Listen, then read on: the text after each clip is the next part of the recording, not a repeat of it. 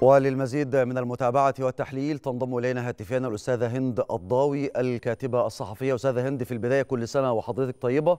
ودعينا في البداية نبدأ من احتفال وتشريف السيد الرئيس عبد الفتاح السيسي ليوم المرأة المصرية وتكريم الأم المثالية. كيف تابعت حتى الآن الاحتفالية؟ تحياتي لك أستاذ يوسف ولكل المشاهدين. طبعا يعني الرئيس عبد الفتاح السيسي كان يهتم اهتمام شديد بإعطاء المرأة المصرية دور حقيقي في المجتمع سواء كان في من خلال التواجد في المؤسسات الحكومية والوطنية وأيضا توفير كافة الإمكانيات اللازمة للارتقاء بدور المرأة الفاعل في الدولة المصرية. كان هناك تمثيل كبير لها في البرلمان سواء كان يعني البرلمان المصري أو حتى مجلس الشيوخ الصانع للقوانين والتشريع في مصر دعم سيدات المجتمع المصري في كافة أنحاء الدولة من أجل إقامة مشروعات يعني استغلالا لطاقتهم في تطوير الأسرة المصرية. سن القوانين التي تحمي الأسرة المصرية من كافة أشكال الاعتداء سواء كان العنف أو غيره. التعامل معها كأنها كيان مستقل يعني لا تقل عن الرجل في أي شيء ويمكنها القيام بأي دور في المجتمع. نعم. شاهدنا في عهد الرئيس السيسي المرأة المصرية على منصة القضاء. هذا الأمر كبير جدا وله ثقله الداخلي والخارجي. وبالتالي هناك تطور في كافة المستويات من أجل تعزيز دور المرأة المصرية، طبعا مصر تحديدا على مستوى العالم. المرأة لعبت دور عبر التاريخ، هي أول امرأة حكمت في التاريخ، أول امرأة قادت الجيوش ولكن لفتره للأسف ليست قصيرة. تراجع دور المرأة المصرية حتى جاء الرئيس عبد الفتاح السيسي وقدم كل ما يمكن تقديمه من أجل استعادة هذه المكانة التي تليق بالمرأة المصرية عبر مراحل التاريخ المتغيرة والمختلفة. نعم. أستاذة هند يعني كيف رصدت مشهد تجليس القاضيات لأول مرة في التاريخ على منصة مجلس الدولة مطلع الشهر الجاري وماذا تعكس هذه الخطوة؟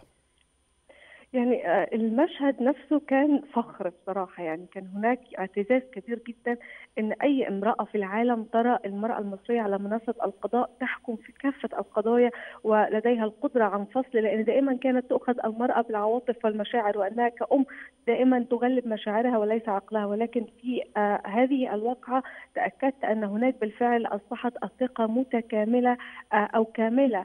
في المرأة المصرية بأنها قادرة دائما على استغلال واستخدام عقلها فيما له الأفضل للمجتمع فكرة أن يكون حتى يعني هذا هو بيت القصيد أن تكون نعم. القيادة السياسية مؤمنة بأن المرأة قادرة على القيام بأي مهام وواجبات يقوم بها الرجل المصري أو الرجل العربي بشكل عام وبالتالي أعتقد أن هذا يعطي عنوان مختلف عما تم تسويقه لسنوات عن المرأة العربية وليس فقط المرأة المصرية. وأعتقد أنها بداية لمتغيرات كثيرة سنراها في السنوات القريبة القادمة بأن المرأة ربما نجد لها مناصب مختلفة عن ما سبق في ظل هذا الاهتمام وهذا الدعم المقدم. وطبعا آخر أشكال التغيير أو التطوير في دور المرأة كان جلوسها على منصة القضاء المصري. نعم. الرئيس السيسي أيضا حرص على إطلاق الاستراتيجية الوطنية لتمكين المرأة المصرية 2030 ما هي أبرز ملامح هذه الاستراتيجية؟ الاستراتيجية تعتمد اعتماد كامل على إعادة يعني تأهيل المرأة بكافة طبقاتها وكافة مستواها التعليمي بمعنى أن الاستراتيجية ما بتعتمدش على طبقة معينة أو فئة معينة من السيدات المصريات نعم. هي بتوفر خطة كاملة لكل مستوى سواء كان يعني سن أو عمر أو مستوى ثقافي أو فكري مختلف لأن في النهاية المجتمع في أي دولة من دول العالم يتشكل من ثقافات ومستوى ومستويات تعليمية مختلفة الهدف الأساسي من هذه الخطة أن يكون هناك يعني برامج لكل مستوى أو لكل فئة سواء كانت عمرية أو تعليمية أو حتى مهنية يمكن من خلالها الاعتماد عليها في تمكين المرأة التي يعني تنطوي تحت هذه الفئة وتطوير إمكانياتها ليس فقط أننا نستغل الإمكانيات أو يعني الإمكانيات العالية أو المرتفعة ولكن في النهاية شاهدنا مثلا في ما تم عرضه أثناء الاحتفال سيدات يعني فضليات مصريات نعم. من القرى والأرياف قاموا بعمل مشاريع يعني أخذهم المجلس القومي للمرأة وكذلك وزارة التضامن وقاموا يعني إعدادهم من خلال دورات تدريبية لعلك لعلك تقصدين أستاذة هند لعلك تقصدين نعم. يعني ما تابعناه بعد كلمة السيدة وزيرة التضامن الاجتماعي الدكتورة نيفين القباج فكرة الرائدة الريفية ونموذج الحاجة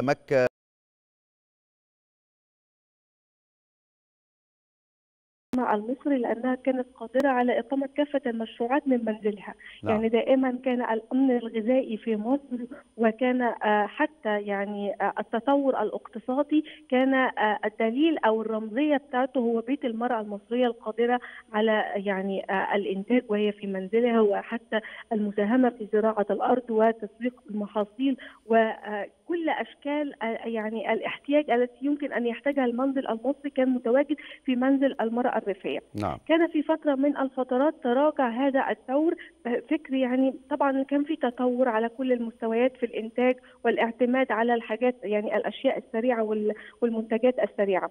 ولكن أنا أتذكر جيدا إن الرئيس عبد الفتاح السيسي تحديدا في عام 2016 كان له كلمة شهيرة في أهمية إعادة تأهيل يعني المرأة الريفية لأنها أساس ويعني من أهم قواعد المجتمع المصري هو إعادة الشكل والرمزية التي اعتادت عليها العين المصرية في شكل المرأة الريفية. لأن إنتاجها كان يعكس إنتاج المجتمع يعكس إنتاج الدولة.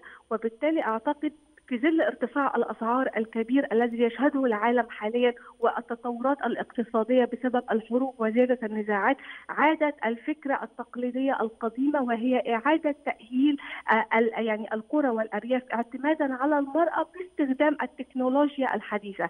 هذا ما تفعله حاليا الدولة المصرية من خلال تدريب أو توفير ضربات دورات تدريبية وندوات موسعة من أجل يعني إطلاع هذه المرأة على وسائل كثيرة يمكن أن تستغلها في إعادة الإنتاج الريفي من جديد. إذا عدنا إلى حقيبة الامتيازات التي تتمتع بها المرأة خلال السنوات الأخيرة وبناء على توجيهات السيد الرئيس عبد الفتاح السيسي هناك مناهضة العنف ضد المرأة هناك قوانين التأمينات والمعاشات وكذلك أيضا برامج التوعية والتدريب التي أشرت إليها الأستاذة هند لإقامة المشروعات الصغيرة. هذه الحقيبة في رأيك كيف يمكن البناء عليها في تعظيم دور المرأة المصرية في بناء المجتمع على كافة الأصعدة. يعني فكرة دعم المرأة من خلال حتى سن القوانين من خلال توفير معاشات تعينها على الحياة. كل هذه منظومة متكاملة. ولكن نعم. في النهاية أنت تعطي الدعم بما يليق مع الاحتياج. بمعنى أن فكرة المعاشات عموما هي جيدة للأسر أو, السيدات الغير قادرات على العمل. لديهم ظرف صحي لديهم مثلا عمر معين لا يستطيعون كبار السن لا يستطيعون أو لا يستطيعون العمل. ولكن الفكرة الأساسية التي يمكن أن تنمي المجتمع وتساعد سيدات الأرياف والقرى هي فكرة مشروع يعني اللي هي المستثمر الصغير اللي بتقوم بها وزارة التضامن الاجتماعي من خلال توفير نعم. رؤوس أموال صغيرة لمشاريع تقوم بها هذه السيدات في المنزل أو بالقرب من المنزل لكل قرية مشروع زي مشروعات الغزل والنسيج وما شابهها مشروعات الإنتاج يعني اللي هي زي عسل النحل ومنتجات الألبان وغيرها هذه المشروعات نعم. أنا أعتقد أنها أكثر فاعلية لأن في النهاية فكرة تضامن آه يعني تكافل وتضامن وغيرها من المعاشات هي يعني ربما تساعد فعلا على توفير الحد الأدنى من الحياة يعني لسيدات في سن معين أو في حالة صحية معينة ولكن في النهاية لابد أن يتوازى ذلك مع إنتاج يستطيع أن نعم. يقيم أسرة كاملة يستطيع أن يغير يعني شهادة السيدات تتحدث بأنها بعد أن قامت بعمل مشروع آه تبع آه يعني الوزارات المعنية استطاعت أن تلبي احتياجات أبنائها من مثلا الدراسة والتعليم والسفر والخروج وهكذا أمور. هذا هو العنصر الفاعل. أن يكون هناك إنتاج. الإنتاج هو الذي يستطيع أن يحقق تغيير في المجتمع. نعم. وبالتالي أنا المعاش جيد جدا. وفكرة أن يساعد دائما الأكثر احتياجا أمر في غاية الأهمية. ولكن لابد أن يتوازى ذلك مع إنتاج يعوض الدولة. ما تنفقه في الدعم وفي نفس الوقت يبني مجتمع سليم نعم. يوفر الحد الأدنى من الاحتياجات بالإضافة طبعا لمشاريع عملاقة زي مشروع حياة كريمة هو يعيد تأهيل وترتيب القرى المصرية والمدن يعني الموجودة في الصعيد نعم، من جديد حتى يكون هناك يعني واقع يعني يتناسب مع حجم المتغيرات العالمية الآن. التي التي يعيشها العالم الآن أستاذة هند الضاوي الكاتبة الصحفية شكرا جزيلا لوجودك معنا وتحية مرة أخرى لحضرتك بمناسبة يوم المرأة المصرية